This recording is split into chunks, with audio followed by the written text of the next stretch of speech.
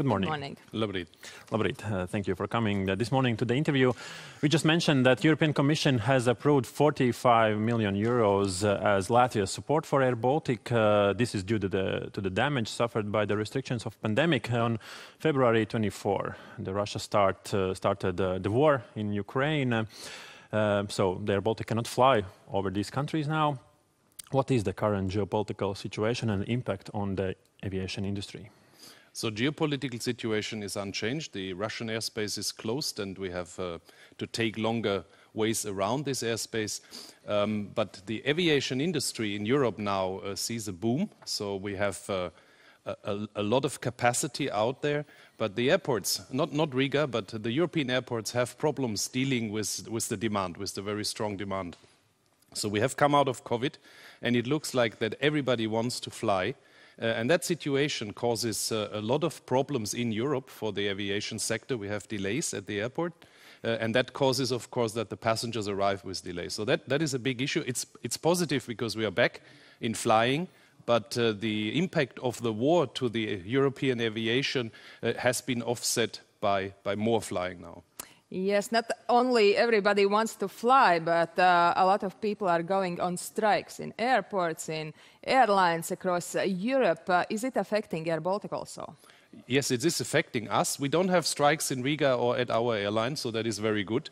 But uh, whenever there's a strike in Amsterdam, in Frankfurt, in Brussels, uh, we fly there and then we can, the baggage is not loaded or there's uh, security lines long.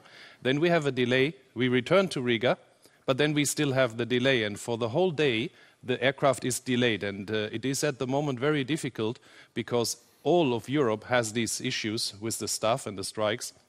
But still, Air Baltic is, is flying, mm -hmm. and we try to do our best to arrive again on time. And we, we already tell passengers in advance that that is happening. But it is a situation which we, uh, from Riga, cannot fix because it's a European problem. Uh, at the moment, when Air Baltic went to the government for this financial support, uh, it was clear that the company's shares would be listed on the stock exchange. When it will be, and what will it mean for Latvia and also for the Air Baltic? The plan is to do this uh, now earliest in 2024 because we need to show to the financial world, first of all, that we are producing profits again. This will not be this year, this will be earliest next year. And then in 2024, we would take the airline to the stock exchange at the Riga Nasdaq, but also at an international stock exchange because of the size of Air Baltic. Our size, when we go to the stock exchange, will be the largest which has been done in the Baltics and therefore we need to co-list also at another stock exchange. So at the moment, your prognosis is that next year Air Baltic will be working with profit? Um, let's say we have to see what this winter does. Uh, we are seeing now the results are going in this direction, but it's very difficult with the current situation. What is happening in the Ukraine? How do we go through the winter and COVID? I give this statement uh, next year, uh, but we are, of course, we want to go back to profit as soon as we can. Uh, at the moment, uh, what is the financial situation for Air Baltic? we are forecasting for this year because it started very difficult, uh, still a significant loss. Uh, but we are at the moment, right now in these months, having better results than expected. So now we are flying profitable, but normally in the summer the airline is making a profit. How significant will be the loss? We, we do not give a forecast because it's not possible yet, but it is still a loss in the expectation of, of what we have planned in the business plan, in the new business plan. And uh, at the moment we are doing a little bit better in these summer months because of a lot of demand, but I cannot forecast what is happening towards the winter. On the February 24, the Russia started uh, the war in Ukraine. Uh, as you said, uh, it means uh, you have to fly to certain destinations much longer. Uh, what is the impact and how safe now is to fly uh, to the east? There's no problem because we are not flying anywhere where there is a conflict zone. So that we are flying everywhere, but we are not flying over the territory which is um, um, closed. It, so it's safe to fly. But we have, on some of the flights, we have uh, significant longer flight time, and that costs more fuel, and therefore the cost for us is higher.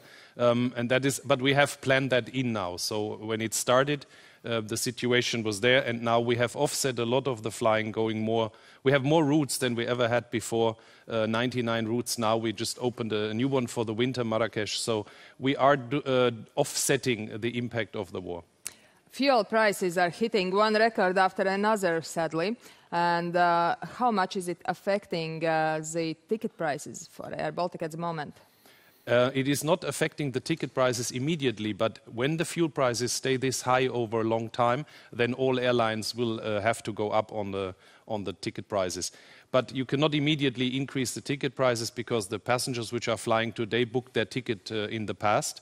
The fuel price uh, is depending on the oil price for us, uh, and uh, it is expected that the oil price uh, continues now to go down again a little bit because of the of the world going uh, into a more difficult situation. So, but it's still uh, at the moment three times as high as it was two years ago. So it's a very significant cost for us as an airline. Does it mean that uh, ticket prices at some moment could be three times higher than it was uh, two years ago? No, never, never. so hi, the, the the higher ticket prices um, we still have the uh, 19 euro 90 ticket, uh, the green sale actually this week, and you find these tickets. But if we talk about higher ticket prices, then long term. But everybody is booking his ticket differently. So you will still have 1990 euros, but you also have uh, tickets for several hundred euros. Due to the lack of aircraft parts, Air Baltic will cancel flights uh, to separate destinations from Riga and Vilnius in autumn, uh, four destinations from Vilnius and three from uh, Riga. Is it possible that other flights uh, could be closed? Uh, we have decided, to, because of the situation of not having all of our aircraft available for us, that we take out some flights. So it's a small number. Uh, the destinations were selected, and we do this well in advance to fly the flights we want to fly on time. So that, that's the reason. But it's a very, very small number compared to the total production, and it is something airlines regularly do. If we look at our competitors, they're taking out thousands of flights, and, and we just now already knowing that we will not have all aircraft available to fly in September, we took out some flights now. But at the moment, there are uh, also some aircraft that are not available for Air Baltic due to the lack of uh, these uh, details? Uh, we have the, the issue we have, all industry has, that spare parts. So uh, our aircraft uh, goes into maintenance, and for that you, you replace certain parts. And currently we have seven aircraft sitting in Riga, where we are waiting for the parts to come. Mm -hmm. And the next aircraft which come for maintenance will also have to wait. And in our forecast now, because the spare parts are not coming, uh, they're coming from all over the world, we have to either take another aircraft in to fly for us, that's what we do, to fly our flights, uh, or we, we consolidate the flights. And that's what we did to make sure that we can transport all the passengers which have booked a ticket. What well, do uh, will there be more than uh, seven aircraft that are not available for flights? It's, it's rotating, so some days we have less, some days we have more. It depends on uh, when, when the spare parts arrive. Sometimes we are waiting several weeks for a specific part. Um, it's new aircraft, so we have new aircraft standing there, but at the same time we are also getting new aircraft from the factory. So sometimes you, you put one relatively new aircraft on the ground, and the next day you already get a brand new aircraft from the factory because we, we have now 36 Airbuses. We get another four this year, so we have 40 Airbuses, but some of them already have to go for maintenance. And then if the parts are not coming, uh, the, the, there's nothing we can do. Um, of course, we ask for the money uh, because of the delay from the manufacturers of the parts, but that is happening later. But these cancelled flights can be resumed when? We, we will make sure that when somebody has a ticket, that he is flying. So this is the most important. Somebody buys a ticket, he wants to fly. But if we know already in two or three months from now that we will not have sufficient aircraft, then we try to bring uh, reduce and rebook the passenger early so that they not, not come on the day and then the flight is not happening. You mentioned earlier that it looks like everybody is flying at the moment. How, how many passengers has uh, Air uh, Baltic had up till now? We had already around 1.3 million passengers this year. And last week we had a new record. We transported 86,000 passengers on Air Baltic network. But we're also flying for the Lufthansa Group with 11 aircraft and, and SAS, and we carried another 30. So we nearly had 130,000 passengers last week transported by Air Baltic. That is a number we have not seen before. So Air Baltic is now larger in production than ever before, but not all of it is the production of Air Baltic because we fly also for other airlines.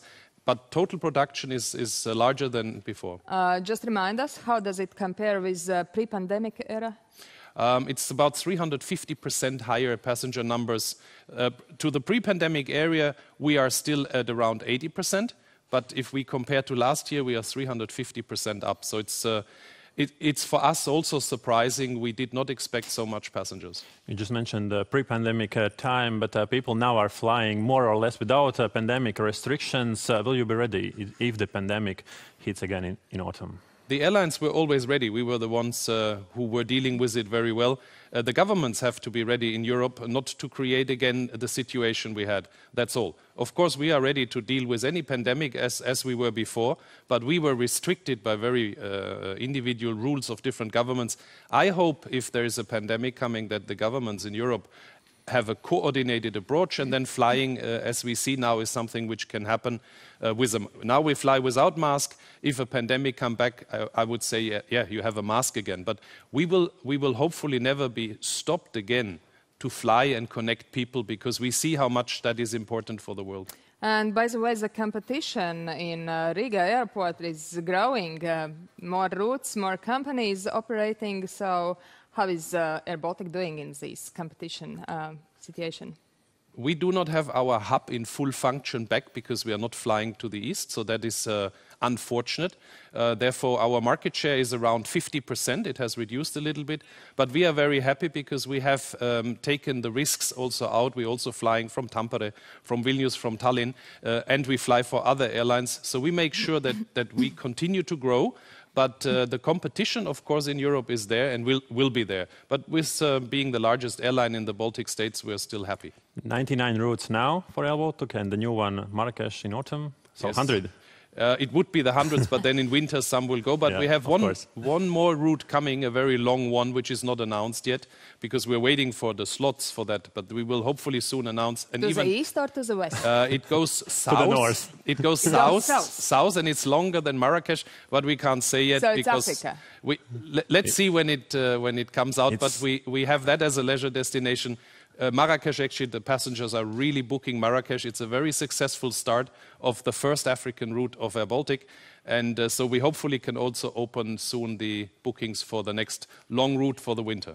So it's longer than five hours and a half. Yes. Like Marrakesh is. Yes. Okay, we will follow the news and and good luck with getting uh, spare aircrafts. Yes, uh, we are working with Airbus and Pratt & Whitney on solving the issue. Maybe for the second route to Africa? Wait, no, it's, it's, uh, let, let, let's wait until we have the slots and then we can announce. okay, we can wait also. Thank you for coming this morning. Thank, you.